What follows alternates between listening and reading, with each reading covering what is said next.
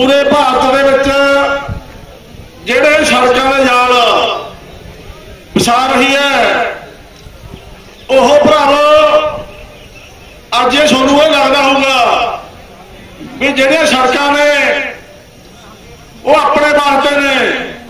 ਨਹੀਂ, ਬਿਲਕੁਲ ਨਹੀਂ।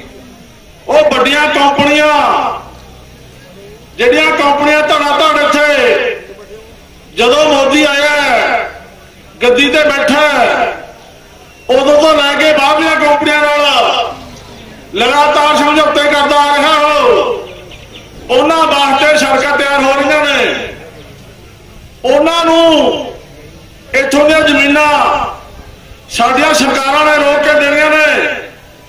ਆ ਕੱਲ ਤੁਹਾਡੇ ਸਾਹਮਣੇ ਹੋਇਆ ਸਾਰੀ ਪੰਜਾਬ ਦੀ ਪੁਲਿਸ, ਹੋਰ ਜ- ਪਾਸਿਆਂ ਦੇ ਪੁਲਿਸਾਂ ਇੱਥੇ ਲਾ ਕੇ ਕੰਪਨੀਆਂ ਵਾਸਤੇ।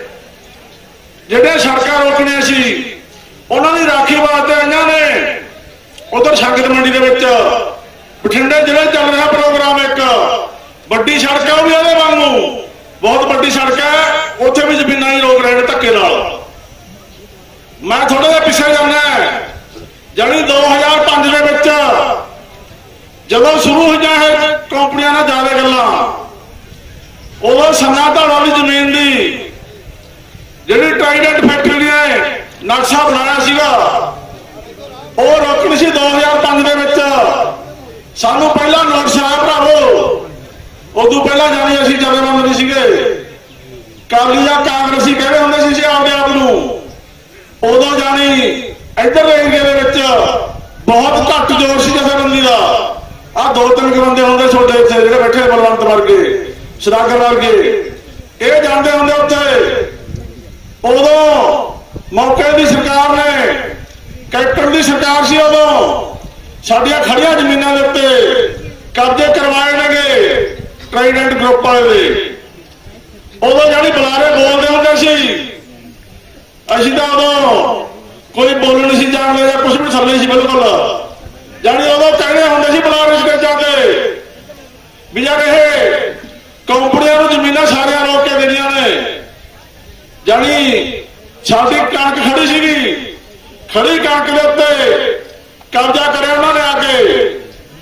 ਉਦੋਂ ਬਾਅਦ 2 ਸਾਲ ਲੜਾਈ ਲੜੀ ਹੈ। ਵੀ ਕਿ ਜੋ ਇਦਾਂ ਗ੍ਰਾਹਾਂ ਦੇ ਵਿੱਚ ਆ ਗਈ, ਇਹਨਾਂ ਨੇ ਕੌਣ ਫੜਦੇ ਆ ਕੇ। ਫਿਰ 2 2.5 ਸਾਲ ਲੜਾਈ ਲੜ ਕੇ, ਉਦੋਂ ਬਾਅਦ ਜਿਹੜਾ ਉਹ ਮਾਮਲਾ ਸੀਗਾ, ਅਸੀਂ ਲੈਤਾ ਜਾਣੀ 14 ਲੱਖ 38000 ਰੁਪਏ ਉਦੋਂ ਅਸੀਂ ਸਹਿਮਤੀ ਦੇ ਨਾਲ ਲੈਤਾ ਸੀਗਾ। ਜਾਣੀ ਤੋਂ ਬਾਅਦ ਤਾਂ ਧੜਾ ਜਿਹੜੇ ਕੰਪਨੀਆਂ ਨੇ ਬਹੁਤ ਜ਼ਿਆਦਾ ਆ ਗਈਆਂ ਜਬਰੀ ਜ਼ਮੀਨਾਂ ਰਕਬਾ ਨਹੀਂ ਹੋ ਦਿਆਂਗੇ ਮੋਦੀ ਸਰਕਾਰ ਮੁਰਦਾਬਾਦ ਬੱਚਾ ਬੱਚਾ ਚੌਕ ਦਿਆਂਗੇ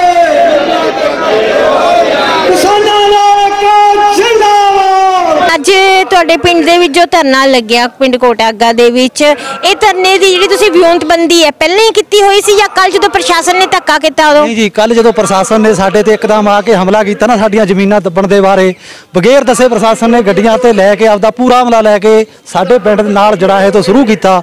ਉਹਦੇ ਤੇ ਫਿਰ ਸਾਨੂੰ ਡਿਸੀਜਨ ਲੈ ਕੇ ਨਾਲ ਜਥੇਬੰਦੀਆਂ ਨੇ ਸਾਡਾ ਸਾਥ ਦਿੱਤਾ।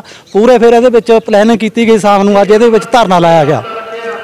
ਤੇ ਅੱਜ ਸਟੇਜ ਦੇ ਉੱਤੇ ਉਗਰਾਹਾਂ ਜੀ ਨੇ ਇਹ ਗੱਲ ਕਹੀ ਹੈ ਕਿ ਪ੍ਰਸ਼ਾਸਨ ਨੇ ਕੱਲ ਜਿਨ੍ਹਾਂ ਦੇ ਖੇਤਾਂ ਦੇ ਵਿੱਚ ਝੋਨੇ ਦੀ ਵਾਹੀ ਕੀਤੀ ਹੈ। ਕਬਜ਼ਾ ਕੀਤਾ ਆ। ਉਹ ਝੋਨਾ ਦੁਬਾਰਾ ਬੀਜਿਆ ਜਾਵੇ, ਕੀ ਕਿਸਾਨ ਸਹਿਮਤ ਨੇ?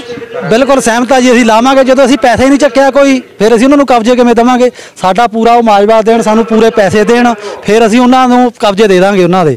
ਪਰ ਅਸੀਂ ਬਗੈਰ ਪੈਸੇ ਚੱਕੇ, ਪ੍ਰਸ਼ਾਸਨ ਨੂੰ ਕਦੇ ਵੀ ਉਹ ਕਬਜ਼ਾ ਨਹੀਂ ਦੇਵਾਂਗੇ। ਸਾਨੂੰ ਕੁਝ ਵੀ ਕਰਨਾ ਪਵੇ, ਜਿੱਦਾਂ ਮਰਜ਼ੀ ਸੰਘਰਸ਼ ਕਰਨਾ ਪਵੇ, ਵੱਡੇ ਤੋਂ ਵੱਡੇ ਸੰਘਰਸ਼ ਵੀ ਕਰਨਾ ਪਊਗਾ, ਤਾਂ ਵੀ ਅਸੀਂ ਉਹਦਾ ਸੰਘਰਸ਼ ਕਰਾਂਗੇ। ਪਿੰਡ ਕੋਟਾਗਾ ਦੀ ਕਿੰਨੀ ਜ਼ਮੀਨ ਹੈ ਜਿਹੜੀ ਇਸ ਵਕਤ ਸਰਕਾਰ ਕਾਬਜ਼ ਵਿੱਚ ਲੈ ਰਹੀ ਹੈ? ਸਾਡੇ 14 15 ਕਿੱਲੇ ਸਾਡੇ ਪਿੰਡ ਦੇ ਆ ਰਹੇ ਆ ਜੀ, ਜਿਹੜੀ ਵਿੱਚ ਕੁਝ ਪੰਚਾਇਤੀ ਜ਼ਮੀਨ ਵੀ ਆ ਕੁਝ ਘਰਾਂ ਦੀ ਜ਼ਮੀਨ ਆ, ਔਰ ਮੇਨ ਗੱਲ ਇਹ ਆ ਜੀ, ਦੇਖੋ ਕਿ 15 ਫੁੱਟ ਉੱਚਾ ਰੋਡ ਬਣ ਰਿਹਾ, ਔਰ ਲਿੰਕ ਸਾਡਾ ਆਲੇ ਦੁਆਲੇ ਦੇ ਪਿੰਡਾਂ ਨੂੰ ਤੋੜ ਰਹੇ ਨੇ ਇਹ।